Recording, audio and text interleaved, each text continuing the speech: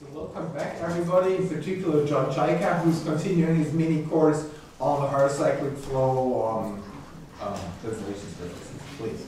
Okay, so what I want to do today is I want to briefly recall tremors, and then and the fact that they commute with the horocycle flow, and then use this fact to prove that the tremor of a surface in the eigenform locus, which has a no horizontal saddle connections, is automatically generic for uh, is generic under the horocycle flow for the natural measure on a particular SL2R orbit closure.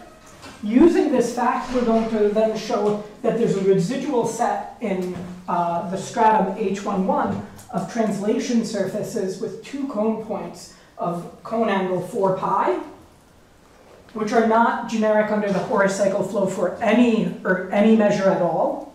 Okay, this is this is a phenomenon that doesn't happen in homogeneous spaces by result of Marina Ratner. Um, okay, so that's kind of an exciting thing. And then I will describe, in the time that remains, I'll describe another set and describe as much of I, as I can of the fact that this is actually in a horocycle orbit closure. Some kind of weird object that's a horocycle orbit closure. Okay, that's the goal. So let's begin by recalling what tremors are. So the, for, the, uh, for a lot of today, I want to set notation and let E be the set of two identical tori glued along a slit. So if you recall last lecture, I showed a couple of different copy pictures of things that are in E. You take two identical tori and you draw a kind of parallel and and on the top of the sides of the par- of the torus, you draw two sides on it, and then the opposite order on the other copy of the torus, you draw the other two sides, and you identify those. And these will give you two identical tori glued along a slit. And there was another picture I drew also of that. And um, we want to assume that our translation surface has area 1, nice setting to be in, so your tori should be area 1 half to begin with. If you get 2 times 1 half, you get 1. Okay? Now, I also want to continue setting up notation, and if I have a translation surface, I want capital F to the T with a subscript of M to denote the horizontal flow on M. This is the object we care about. Now, at the end of my talk, I described um, tremors, and so there was a set and there was a measure. So I want to kind of make the distinction clear to start things off. If I have an arc gamma, so I'm, I'm considering sets that are horizontally invariant. So they're invariant under the horizontal flow. Alternately, you can consider them as being foliated by horizontal lines. And so I could look at uh, an arc gamma and I could integrate gamma with respect to dx on my translation surface. And I could add to that s divided by the Lebesgue measure of u. This is kind of a normalizing factor. And I could integrate gamma over dy, but only on the part that u is on. Okay, and this is a well-behaved object because u is horizontally invariant. Uh, and then I can, on the second coordinate, I can look at the integral of gamma dy. So this actually, as a word for the fact that this is some kind of a nice object, this gives you a cohomology class. And more than that, it gives you a cocycle. So that's a way in which this is kind of a nice object. Now we care about measures, so how are measures connected? This is the opposite order I did it in, in class, uh, in last time that if you have a, an, an, absolutely continuous invariant measure, there's a good set with this property. So once again, it's going to be invariant under the horizontal, horizontally invariant, and it's measurable, and it gives full measure to mu, and it has no extra points up to zero sets. What does that mean? If I look at where mu doesn't live, but Lebesgue does live, so that's where the Radon-Nikodym derivative of mu with respect to Lebesgue is zero, that has zero measure in you. Everybody happy about this? So this is set can kind of be identified with mu in a kind of very meaningful way. Who's happy? Okay, a fair number of happy people. Okay, and then what we can do is this this map. So um, in coordinates.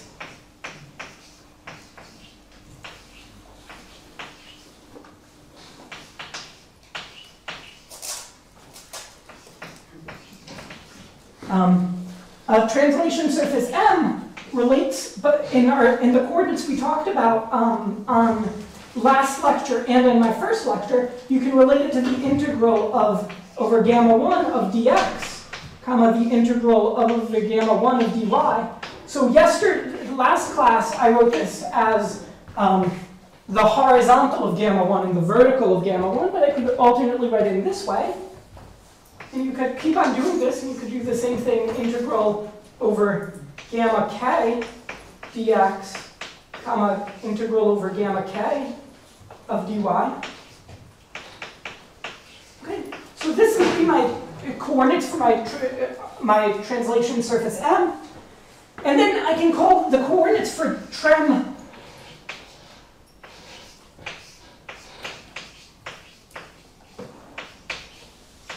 m with respect to mu for time s, what do I want this to be? I want this to be equal to the integral over gamma 1 of dx plus um, s divided by the Lebesgue measure of u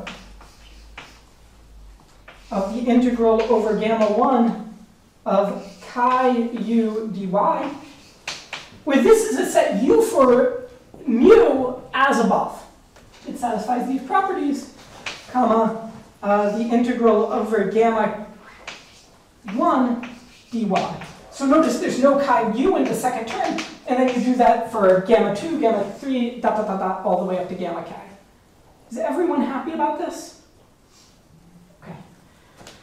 So this is what a tremor does in coordinates. It gives you a one parameter family of translation surfaces, and moreover, if you pull back dz from those translation surfaces, it agrees with the cohomology class you got there. Okay? Just not particularly important. Now in coordinates, it's pretty clear that the tremor commutes with the horocycle flow. This is, once again, recalling what we did last time. But I'm going to write this, uh, let's say US2 of the tremor of m with respect to mu for time s1 is equal to uh, the tremor. Now here's us1 of m, comma, s1. And of course, I made a mistake. This should be s2. This is my horocycle flow parameter. This is my tremor flow parameter. Now these are two different translation surfaces, and this is going to be an issue that's going to show up at a couple of times in my talk today, which is comparing measures on different translation surfaces. But your horocycle, or really any element of SL2R, doesn't just give you a new translation surface, it gives you a homeomorphism between these translation surfaces. Okay? And so you can push forward your measure mu by this homeomorphism. And this is what I mean by horocycles commute with tremors. Is everybody okay with this? This is going to be the key fact in our proof. Okay? Somehow, if I would, the thing that bothers me is that if I would write it, and I would write S1 on the left and S2 on the right. Uh, I don't understand the like the right hand side of the equation, shouldn't it be uh, trem US1 no, th th I'm tremoring for time s1. I'm horocycling for time yeah, s2. So what in the right hand side? I'm looking at the image of my point. So I have my surface M, and I tremor for time s1, and then I horocycle flow for time ah, s2. So, so, so, of course, of course. US2. Yeah. Okay. Um, everyone happy? Okay, so this is somehow the engine that literally everything runs off of and some semi-continuity properties. So this is a very important point, though it's kind of very trivial. trivial. Okay, so now I want to state a fact. So tremors can be thought of as kind of semi-continuous objects. Um, and I'm only going to use a tiny bit of the semi-continuity for the purposes, which is very convenient for our purposes. So if uh, M1, comma, dot, dot, dot, dot, are all in E, and they're converging to, and uh, the m sub i converge to m infinity, which therefore has to be an e as well. Everybody wait, where f sub uh, m infinity of t is uniquely ergodic, and therefore uniquely ergodic with respect to Lebesgue measure, then uh, and mu one comma da are ergodic measures. Let's say absolutely continuous ergodic measures uh, for the MI. Then the trem with respect to m sub i of mu sub i of s converges to u sub s of m infinity for all i. Okay, there's an important thing that's going on here, which is that the tremor can kind of the, the tremor space can kind of the, the tremor space behaves semi-continuously. It can kind of collapse, but it can't get bigger. And that's um, a, a key kind of thing that's going on. And in the uniquely ergodic case, it's very obvious to, it's very natural to describe what things are collapsing to. Okay? And so you have this theorem. Okay, let me say a few words. You can take this theorem on fact. I don't, I don't think it's a bad idea to just do this, but you can think about why this is true. So if you look at the kind of description I'm doing here, so as you get closer to something being you you uh, uh, as your measures are pr- approaching your uniquely ergodic measure, these sets are going to be getting closer and closer to being equidistributed in your space, these u's. And so the map you're getting is getting closer and closer to being um, just the horocycle map. Indeed, the condition that it's invariant under horizontal lines is telling you that these hor- it- it- since you're close to something uniquely ergodic, these horizontal lines themselves are very close to being everywhere. And that's the idea. Is everyone okay with that? So M infinity is a, is a fixed point for, for uh, no, M infinity, on M infinity, the trem uh, is the same as the, as the horocycle. Yes, correct. That's the only allowed tremor because the only such interesting U you can get has full measure. Right? I mean, this formula doesn't make sense if U has zero measure. So, yeah, thanks for that. Any other questions about this? Yeah. So you're relying on some sort of uh, continuity of the integral of chi u over a partic- over Yeah. some yeah. particular um, arcs as we go along. I mean, there's a hundred different ways to prove this fact. Okay. right? But I, yeah, yeah, there's many different ways to kind of talk about nearby measures on nearby surfaces. One of them is cohomology, which seems to be the way that you're suggesting, which is a great way to do it. Uh, you could also, which is very similar, you could choose common triangulations of them, choose piecewise affine maps on those triangles between them. I think they're very similar ideas. Okay. Oh, right. Um, so people are happy with this fact? I'm a bit confused too. Yeah. So the mu i's are not like converging to anything in particular? I mean, They have to converge to Lebesgue. That's what's going on here yeah, so, in the weak star topology. So if you come up with a, Oh, a because- reasonable way of comparing the measures on m sub i with m infinity, the point is that. there- there's, it's negotiable how you do it. There's a few different ways, but then these measures are going to be converging to Lebesgue. That's because the limit is uniquely. Ergodic, right? In general, they're just going to be an invariant measure, and that's the semi-continuity property. Okay? Because, so why do I say semi-continuity? Because any m sub i has a sequence of ergodic measures that has the same property. Right? So things can blow up, but they can't go down. Semi-continuity. Did that answer your question? Great. Okay. And now we have another fact, which I'll call a theorem. And this is a theorem of Bainbridge, Smillie, and Weiss. Matt Bainbridge and my two co-authors.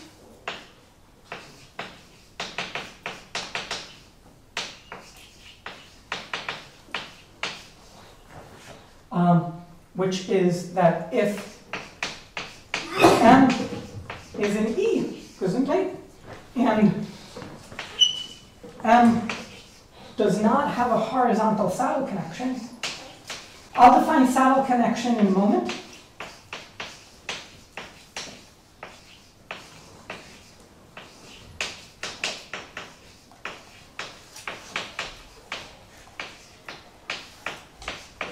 Then M is generic. Uh,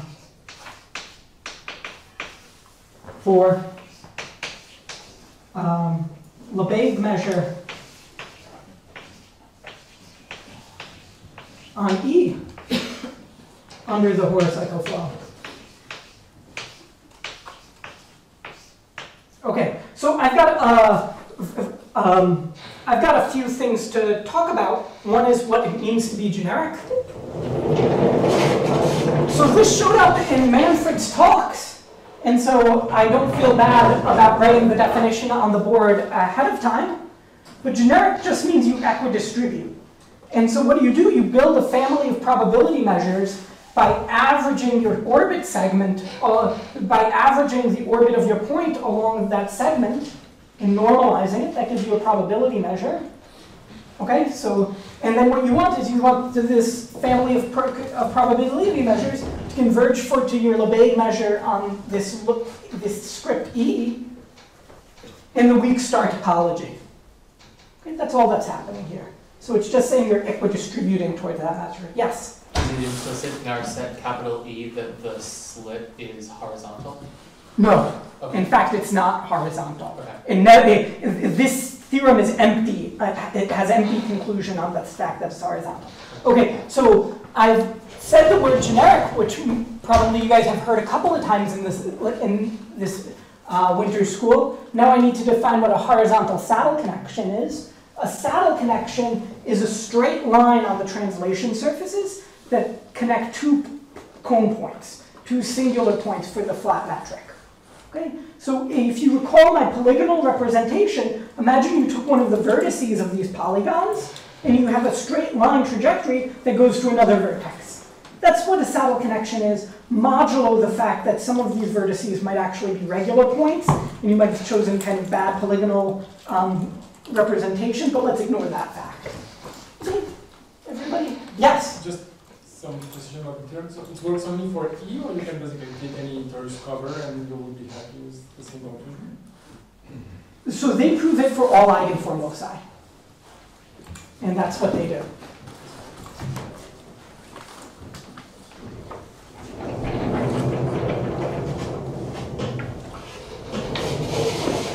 Okay, so that's our theorem here. And now we have our proof. Okay, so there's a corollary of this theorem, which is rather immediate, which is that um, for all epsilon greater than zero and s, there exists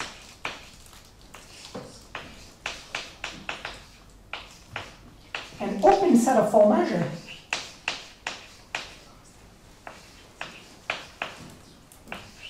A full measure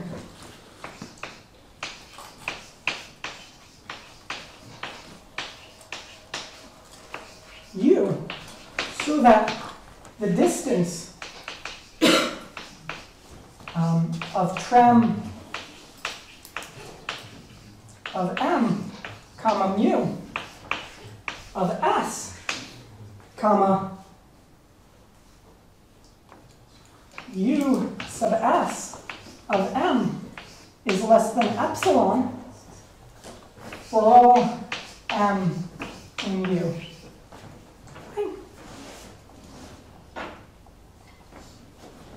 So what is this using? This is using my fact that having that your tremor be close to the horocycle is an open condition. And the fact here, um, and the fact that uniquely ergodics are an open condition, and putting these two together, I, I get the corollary. So this doesn't use Bainbridge Smillie Weiss. Okay? But we're going to obtain the genericity of tremors using Bainbridge Smillie Weiss in this corollary. Is U a subset of E? U, yeah, U is a subset of E, thank you. Actually, this is true in, for anything, but we care about this for E-. Okay? So now I'm almost done. So I'm going to state a Farad theorem. Can you explain again the corollary or the, the, the, the proof in the corollary? Um, yeah, so what's the proof in the corollary? The proof in the corollary is this condition is open. That's an open condition. That's how it's proved. And that uses the fact. Okay? The fact is that, that this condition is open. Okay? And unique ergodicity is full measure. So now I'm going to state the next theorem. So this is a joint theorem of myself and uh, Smillie and Barak and John.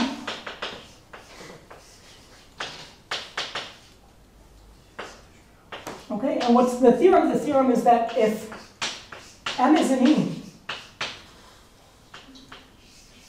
and uh, has no horizontal saddle connections, saddle connections, and mu is an n absolutely continuous.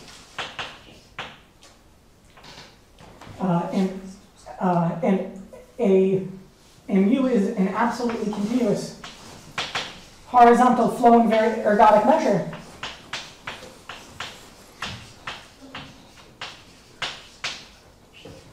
Then um, M is horocycle flow generic. I'm sorry, tremor of M with respect to mu for time S is horizontal flow invariant is uh, horocycle flow generic for call this mu sub E, the Lebesgue measure.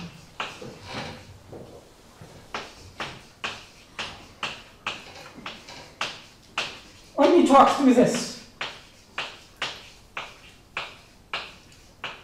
So I have some kind of surface on E, and I want to assume it has no horizontal saddle connections.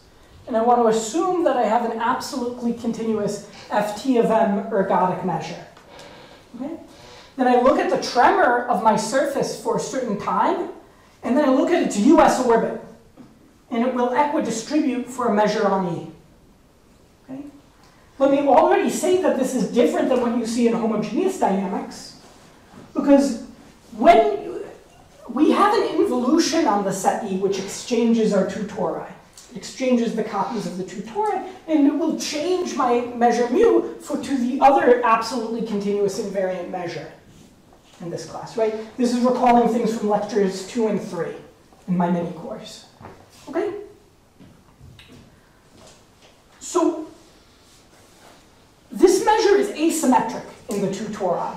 And in particular, tremoring with respect to it will break the symmetry of the two surfaces. Um.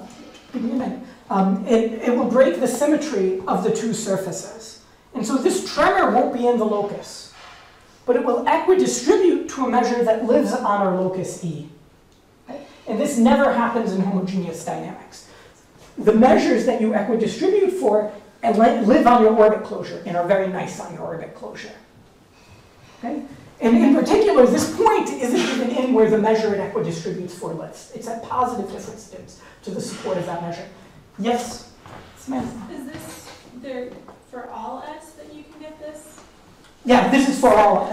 Uh, poor choice of variables here. Let me change this S to an L for all L, because I was using S as the variable here. This is for all L.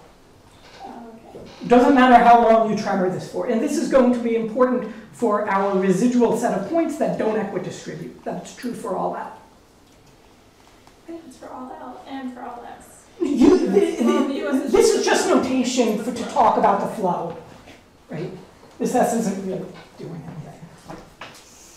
Okay, so what's the proof of this? The proof of this is that by basic kind of, by the theorem of Bainbridge-Smillie-Weiss, proof. By Bainbridge-Smillie-Weiss, uh, and the corollary, uh, yeah, let's say by Bainbridge-Smillie-Weiss, if U is an open set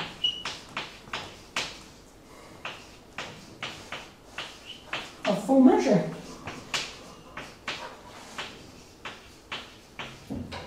and M A E has no horizontal saddle connections,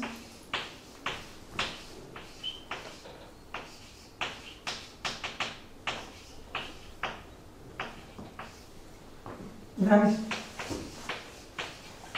the set of S, so that U sub S of N is in U,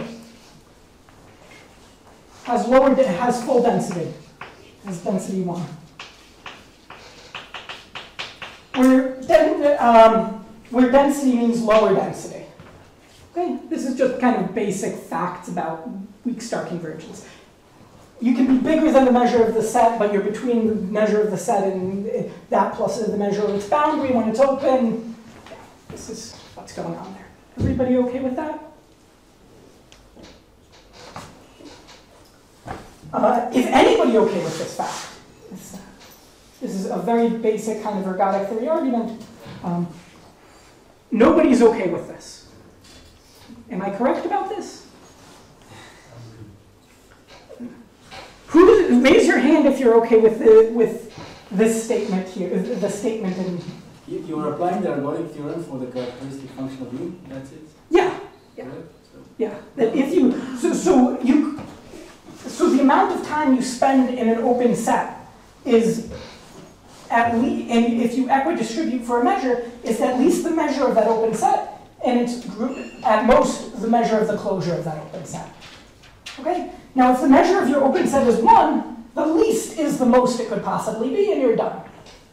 This is the basics from going from weak star convergent to what this is saying about uh, measurable sets. It's called the Portmanteau theorem. Okay? Uh, Who's with me at this point? I'm with me?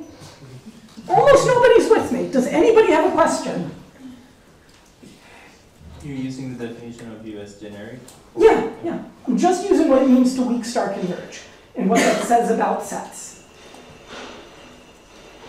Who's seen weak star convergence before? Okay, who's seen the Portmanteau theorem before? Oh, that's the problem. Okay, so what does the Portmanteau theorem says? It says that if I have a set of measures, so if nu sub i are converging weak star, um, to some measure nu infinity, and u is open,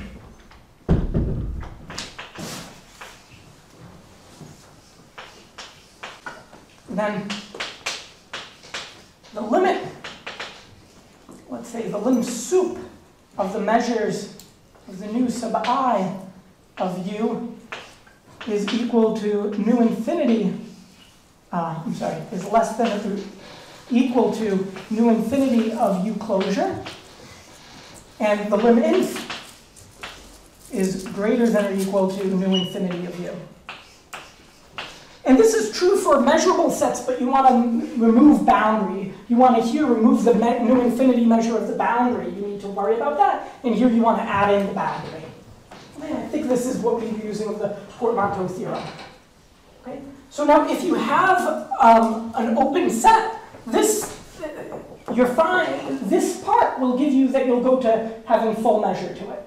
Right? What you're doing in generic points is you're averaging along the orbit. So you're looking at those times when you're in the set U, right? Your nu, your nu I will be for some time t. You'll be looking at the times at which you're in U.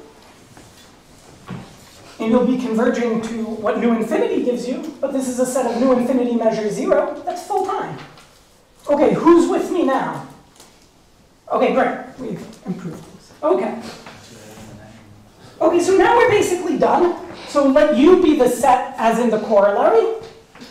Let U be as in the corollary.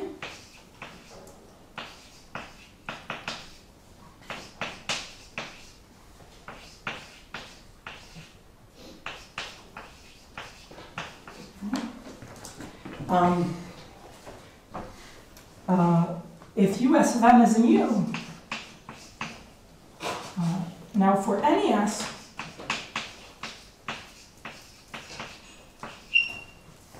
um,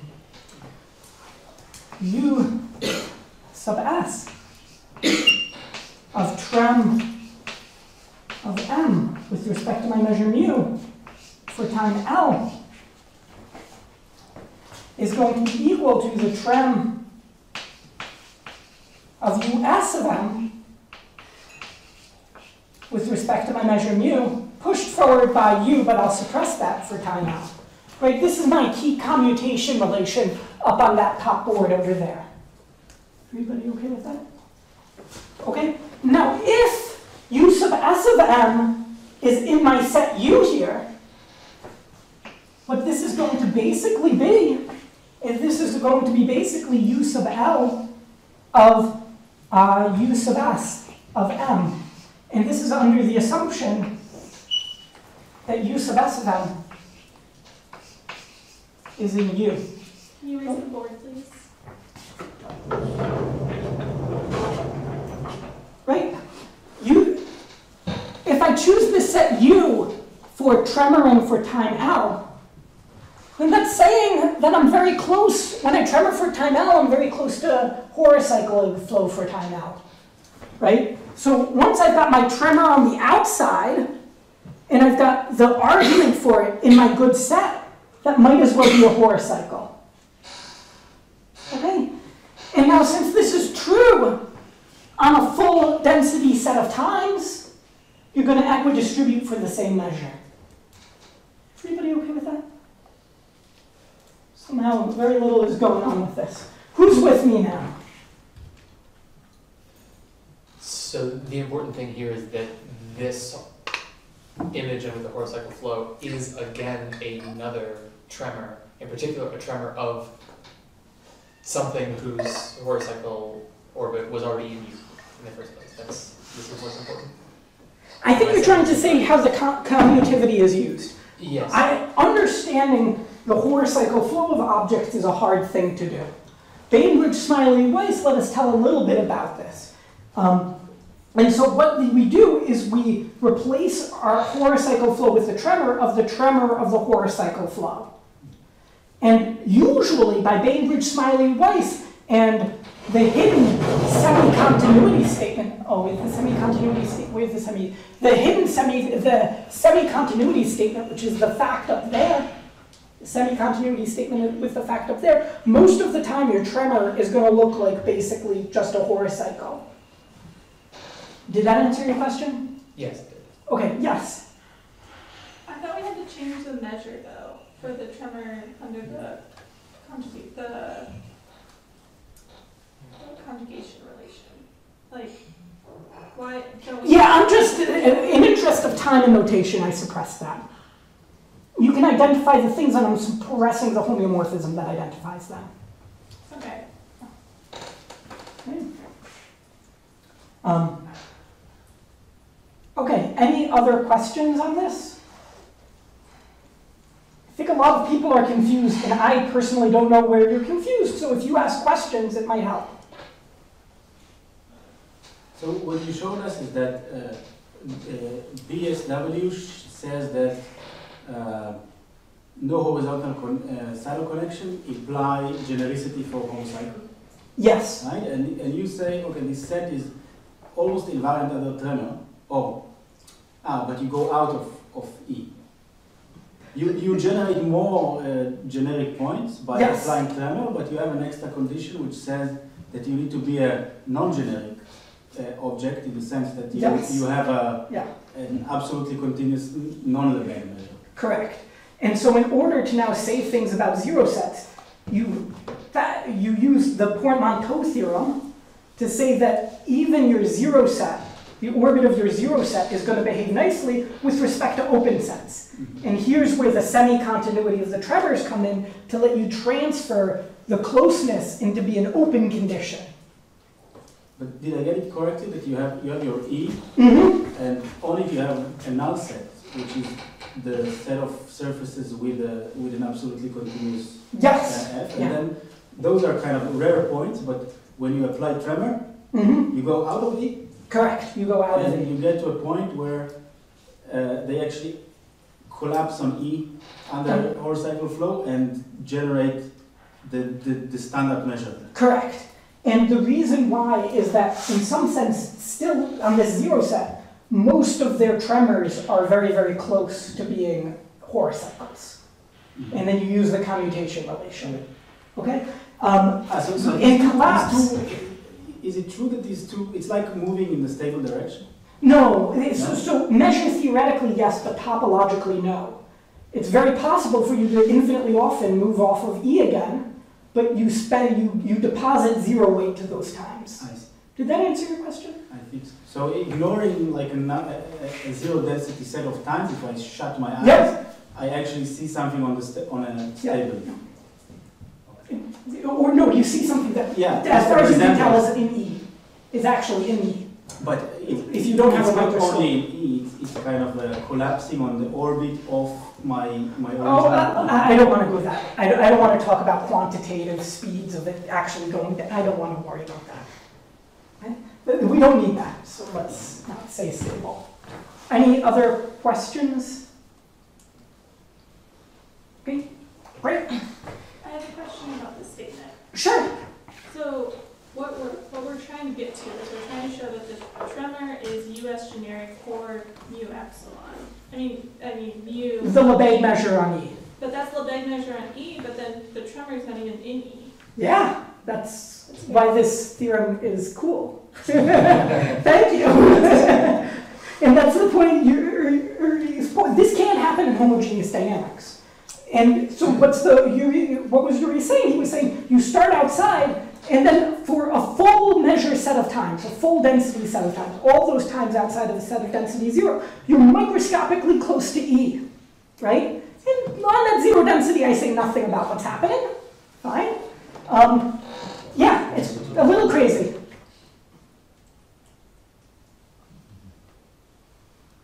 Yeah.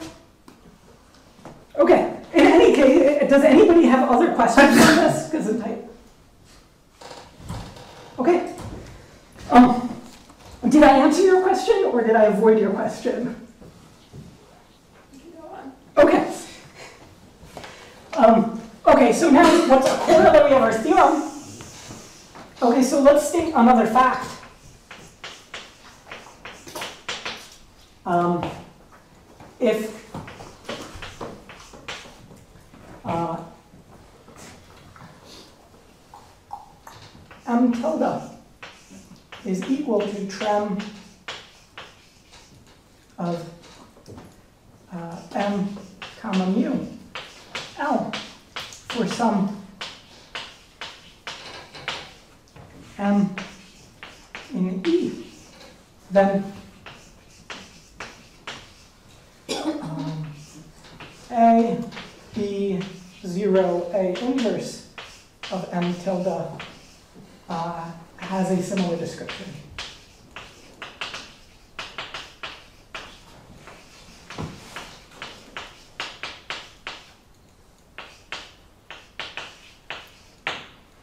Indeed, it's going to be, I guess, a squared L trem mu uh, u b of m. Uh, okay, I'm going to get this wrong, but the statement is that the this group sends tremors to tremors. It sends tremors of surfaces to tremors of surfaces. And there's some combinatorics, uh, uh, some numerology going on in the way it does it, but it's completely explicit, and that's what you get. Everybody okay with that? And then there's another fact, which is due to, which is combines a few big theorems. So this is due to McMullen.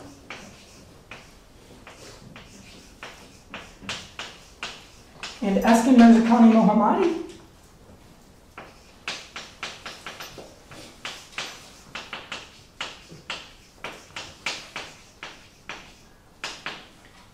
In what sense? This, in the sense that you have to compare, combine results of these two people, of these two groups of people, um, in order to get the fact I'm stating here. And what's the fact going to be? The fact is going to be a closed set.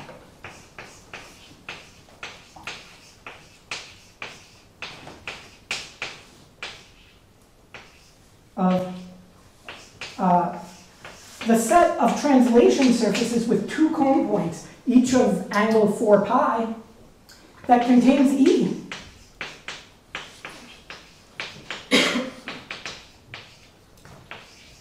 And is invariant under this group. Is star, star, zero, star invariant.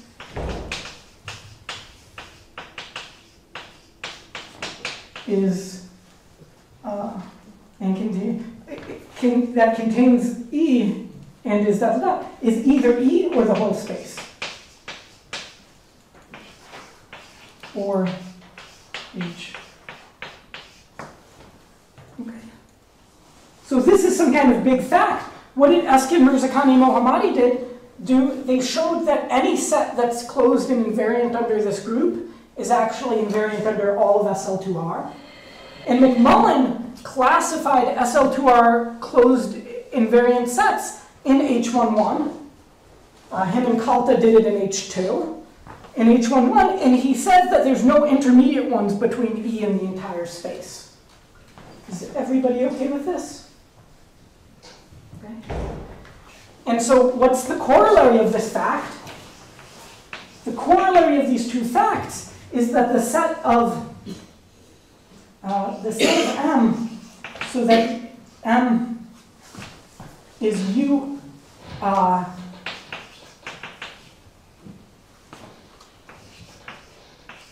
generic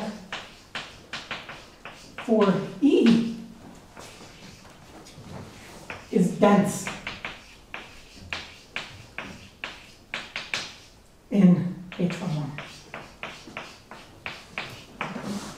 Okay?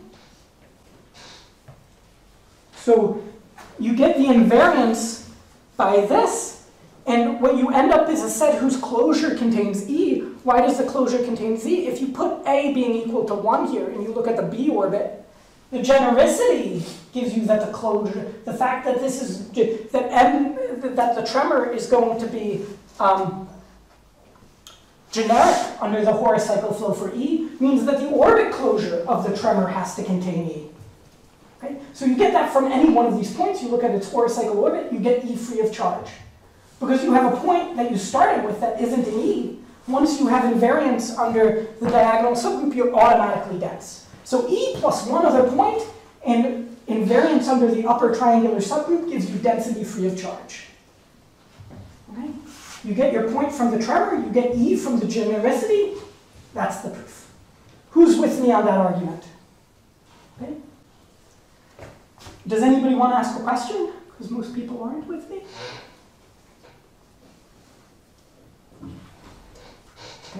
Can you maybe comment why is that surprising? I mean, once you once you showed us that It's not surprising. This is not surprising. I mean, there's a there's a couple of very big theorems in there, but okay, you're allowed to quote big theorems. All right. So now, what's the next theorem we're going to state? It's going to be that there are don't equidistribute. The lack of equidistribution. Um, okay, so this is the next theorem. Do you need tremors for that corollary? Like, could you get that corollary? I, I don't know. Uh, I don't know how you would get that. Okay. So I think you need tremors to even get one surface that's not an E that equidistributes um, uh, to, to, the, to the measure. It's surprising that there's any that aren't in E that equidistribute to the measure on E. Mm, That was your, I think that was your earlier question, right? it's starting to make sense. Yeah, yeah. Yeah, no, but this should be surprising. I hope it's surprising. So the dichotomy says that this set that you've given is either dense in H11 or dense in E, but the fact that you have given examples of things that are US generic for E that aren't in E forces it to be the latter rather than the Correct. former. Correct.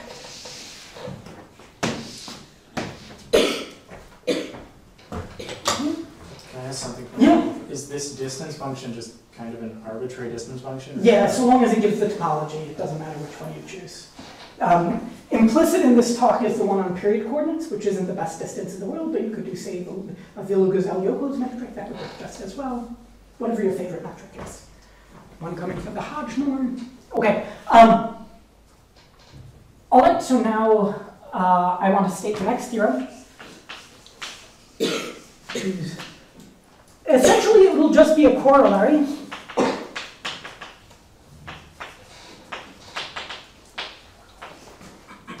The set of surfaces, uh, set of M in E, so that um, M is not US generic for any measure.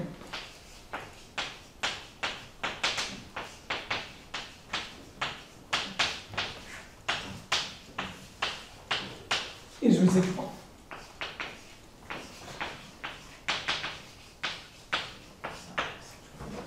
Okay? And so, what does residual mean? Well, look at the statement of the ca- I hope everyone here has seen the Baire category theorem before.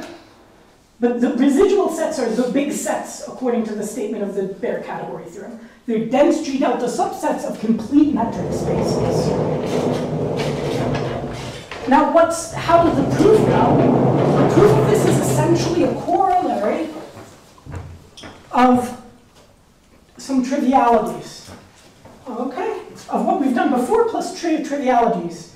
Now I want to generalize the notion of generic, and I want to say quasi-generic for nu, if there exists an infinite sequence t sub i going to infinity, so that for all this, t sub i, and here I take this as i goes to infinity, Sorry, M and E or M and H one one?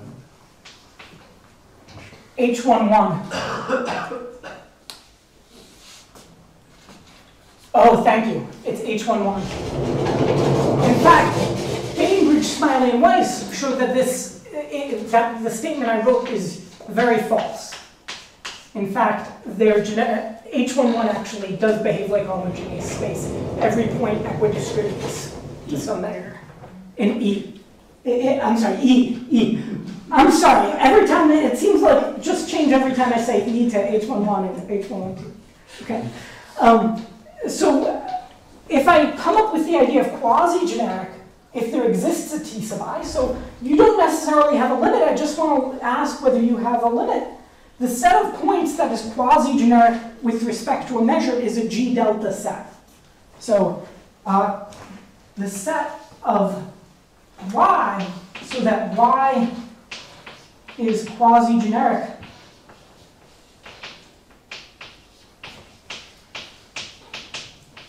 with respect to nu is residual if it's dense.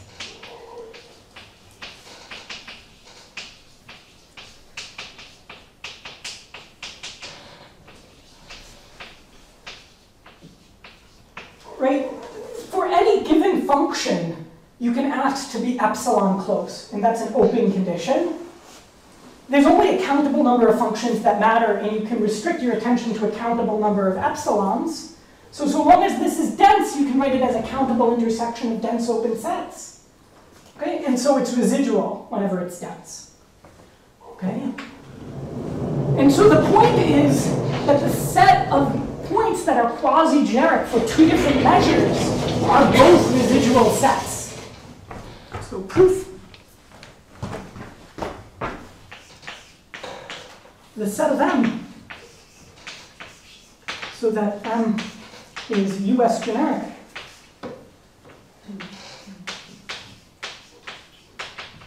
For Lebesgue on H11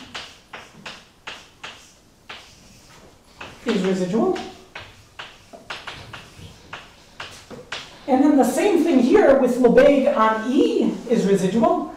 That's what we just, um, that uses the density and just the fact that being quasi-generic is a residual property. If you're actually generic, you're automatically quasi-generic. That's how you get the density. And saying the word quasi is how you get the G delta property from, and then you put those together and you get re- residual. Okay, and this is what we have here. And then by the Baire category theorem, the intersection is residual. By bare category, the intersection is residual.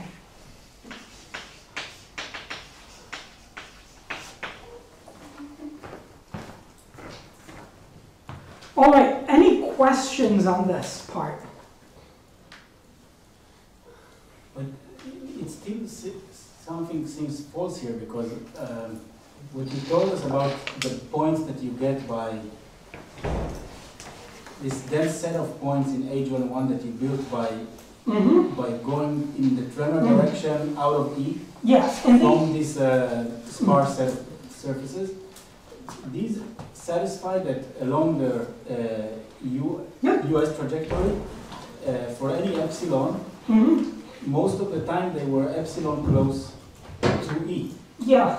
So how could they, So if the set of points that we produce that don't uh, um, equidistribute for any measure haven't shown up on the board anywhere. they're We just, they, they're just hidden the Baire category argument. You have a residual set, which is, oh, sorry, US quasi-generic. I left off the word quasi. Quasi-generic. Okay, so the set that's generic for Lebesgue on H11 is dense, but is a meager set. The set that's generic for E is dense, but is a meager set. Okay? The set that quasi-generic will still be dense, because they contain the generic sets, Ah, but they'll be G delta. That's how it happened. So sorry if we're leaving out the word quasi, I think that's what confused you. but it- somehow, what hidden in what you're saying is that uh, when you go from the requirement of generic to quasi-generic, you, you immediately, just because of abstract nonsense, you blow up the set, right? In, in the sense of descriptive set theory, it becomes a big set. So, but this is already a, a non-homogeneous phenomenon, right? Because from, uh, from the homogeneous dynamics point of view, if you have a point with the, which is quasi-generic for you, it's automatically generic for you. Correct. So, But we only produce these using this bizarre category argument. And so this is a high, so I'm building a lot of interesting No, I'm phenomena. taking the logic that you're, that, Yeah. you're, that you're saying now, and I'm asking myself, why can't I prove existence of badly behaved points in G mod gamma this way? Yeah, so Then- one thing is, this first theorem can't happen in homogeneous dynamics. You can't have a point outside of the support of a measure that equidistributes for that measure.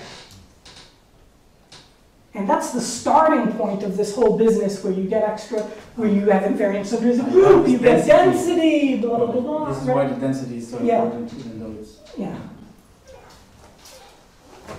Um, maybe I'll just say a quick remark. I want to be clear that I've got a lot of questions on this because I really don't know what's going on in a lot of things. I have these theorems I can quote, which are very powerful theorems and wonderful theorems, but they're complete, they're kind of miraculous, right? All of our arguments are about these very special sets that we control very well, and then we're concluding things about other points existing somewhere that we have no idea what they are. Right? Yes? So you're taking the set where it's quasi-generic for Lebesgue, Mm-hmm. residual index. The set where it's quasi-generic in Lebesgue, I mean, for, For E. is generic index. Yeah, got Yeah, E. Is residual index. You're taking the intersection of these two. So by Baire category, that's again residual. And since now this intersection contains things that are quasi-generic for this thing and that other thing, They can't these be things are therefore not generic for for any. anything. Yeah, Okay. perfect, thanks. Okay, any other questions? Okay, so, um, I think I'll end with the statement of one more theorem that I won't really have any time to say anything about, at least today. And maybe I'll do a vote. So we have one last theorem.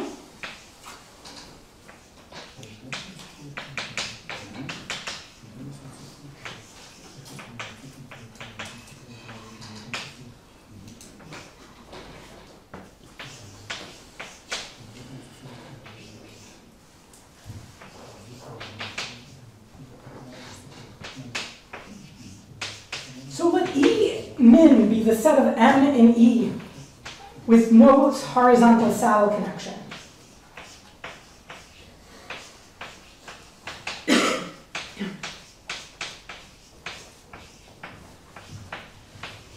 Okay, so these are things that have, they're guaranteed to have a minimal horizontal flow. Um, then what I can do um, is uh, I can let I, I can look at the union over m in E min.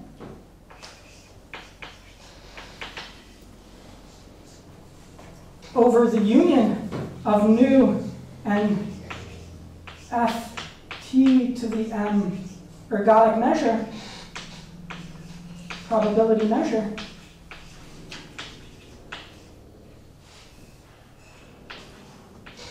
And I can look at the tremor of this m with respect to this nu for time L. And I can take the union of this for L, say less than or equal to R. Okay? And this is a horocycle orbit closure.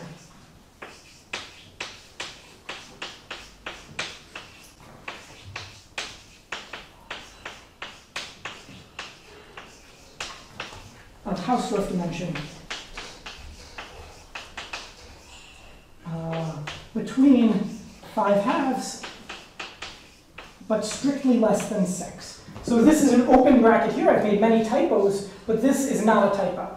Strictly less than six, and in particular, it's non-integer Hausdorff dimension. Um, this is, uh, oh, I'm sorry, I left out the closure part. You take the closure of this set. That's now um, an, a horocycle orbit closure of fixed Hausdorff, of some Hausdorff, fractional Hausdorff dimension, and this also never happens in homogeneous dynamics. Is there a lower bound on L? Uh, for OL. For all L, you get one of these. Uh, I'm sorry, for all R, you, oh, I see. Thank you, thank you, Okay.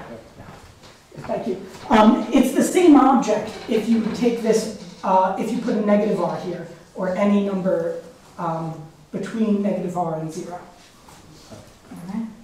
It's also the same object if you erase, if it's just exactly R. The same object. So this is kind of a funky object. In particular, if you look not at the clo, if you look at the guys you get for less than R, strictly less than R, and you subtract it from this, what you have left, left is G delta in the set you started with. This is a weird object. So when you have a horizontal saddle connection, uh, can you explain why nu exists? Like you said, Okay, so there's two cases. The case where the horizontal saddle connection separates the surface, or comes in a pair that separates the surface. And there, you have an invariant measure because your surface is separated along the horizontal. But you'll never cross this separating object. Then, all right. Are there other questions on the statement of this theorem? Yes, Are the surfaces in this set still all tremors? they're all tremors. Okay. Yeah. Great question. Uh, any other questions? For the top theorem, i- is that a US quasi-generic statement also? Or is, No, every measure is automatic. Thank you for asking this. I've made so many typos. But every measure is quasi-generic for, every point is quasi-generic for some measure, oh yeah, basically by kind of compactness arguments. Well, this isn't a compact space, but it's almost compact. There's good ways of controlling the non-compact part. Um, yeah, so th- we can't negate quasi-genericness. That's impossible to do, but we can negate genericness. Did that answer your question? Thanks for it. Any other questions?